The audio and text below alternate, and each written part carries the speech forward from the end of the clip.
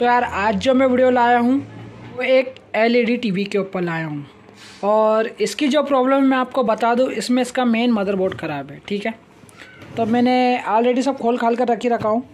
सीधे आपको सिंपल तरीके में बताऊँगा कि आप इसमें किस तरह से नया मदरबोर्ड डाल सकते हो। तो हमें इसमें नया मदरबोर्ड डालना है। तो इसमें हमें कुछ चीज़ों का ध्यान देना होगा। सबसे पहले हमें ये ध्यान देना होगा कि ये पैनल कितने वोल्टेज पे वर्क करता है, ठीक है?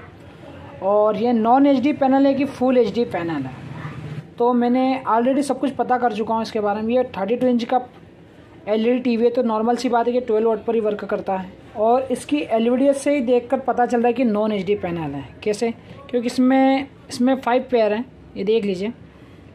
और ये हमारा इधर वी सी सी है। तो हम इसे निकाल लेते हैं एलवीडीएस को। इस तरह से। और इसकी बैक लाइट को। ठीक है? और इसे हम खोल लेते हैं। इस तरह से।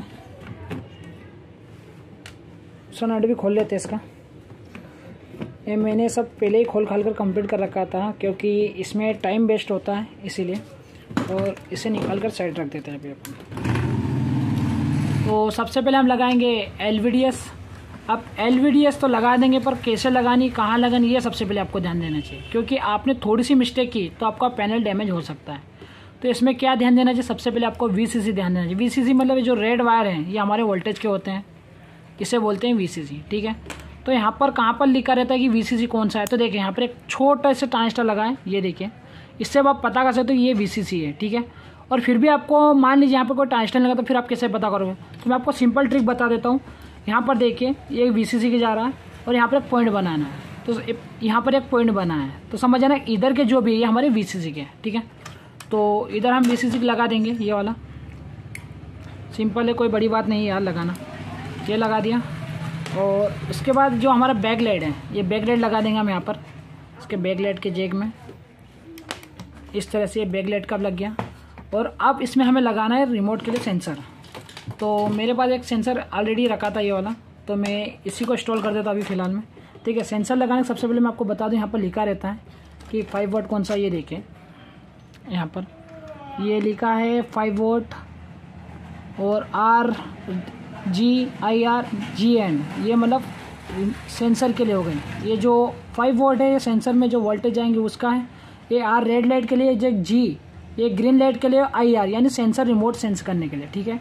और ये जी एंड यानी कि ग्राउंड तो इसे मैं यहाँ पर इंस्टॉल कर दूँगा। और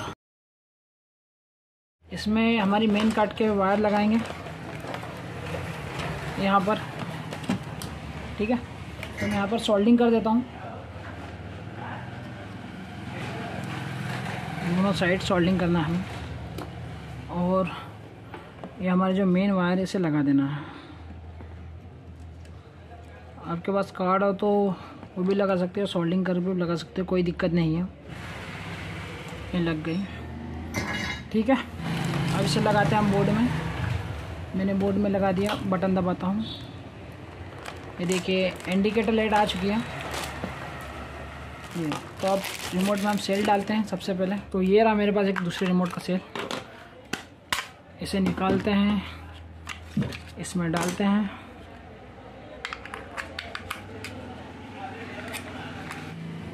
तो ठीक है, इसे चालू करते हैं। और इसका रेजुलेशन भी हमें सेट करना है क्योंकि इसमें थोड़ी मैपिंग की प्रॉब्लम आ रही है। तो देखिए, ये इस तरह से चल रहा है। तो सबसे पहले हम इसका सर्विस मैनुअल खोलेंगे और इसका सर्विस मैनुअल कोड है इनपुट ग्यारह पचास। तो यहाँ पर तो इनपुट तो लिखा नहीं है। तो इसमें कहीं बंदे कंफ्यूज हो जाते हैं। तो इनपुट की जगह आप सोर्स भी लगा सकते हो, कोई दिक्कत नहीं आएगी। तो मैं दबाता हूँ सोर्स ग्यारह पचास। ये आ गया। तो देखिए, हमें कुछ आगे पर थोड़ा ढंग का नहीं दिख रहा है तो इसलिए मैं अभी थोड़ा वीडियो बंद कर देता हूँ। कि थोड़ा हमें समझ में आ जाए कि अच्छे दिख रहे हैं। तो देखिए, यहाँ पे कुछ सेटिंग आई है। ध्यान से देखिए वीडियो आइडियो ऐसा लिखा है। तो सबसे पहले हम क्या वीडियो में जाएँगे और यहाँ पे पैनल कंट्रोल दिख रहा है। इस पैनल कंट्रोल को ओके करेंगे, ठीक है? अब पैनल कंट्रोल में यहाँ पे देखें, ये कलर डिबिट इस कलर बिट को हम कम करके देखते हैं। देखते हैं लगाते हैं। मैंने वीडियो लगा दिया है। अभी टेन बिट पे सेट है तो मैं इसे बढ़ाता हूँ थोड़ा। ट्वेल्व बिट हो गया नहीं काम दिया। देखिए सिक्स बिट पे एकदम मस्त हो गया और सिक्स के बाद डायरेक्ट एट आ रहा है तो ये थोड़ा ख़राब दिख रहा है इसलिए सिक्स बिट पे एकदम ओके हो गया। ये देखिए एकदम मस्त चालू हो गया। ये देखिए एकदम मस्त हो चुका है कोई समस्या नहीं है एकदम टकाटक चल रहा है। तो आप इसे हम रिटर्न कर देंगे या फिर इसे आप डायरेक्ट बंद भी कर सकते हो कोई दिक्कत नहीं आएगी इस तरह से।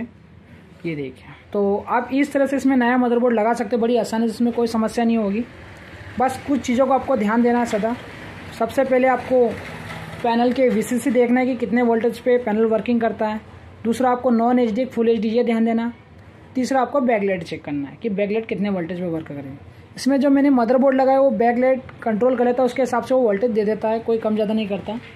जो एकदम फिक्स है, वही वोल्टेज देगा, उससे कोई समस्या नहीं आती है। तो बस अभी के लिए इतना ही, मिलते हैं नेक्स्ट वीडियो में।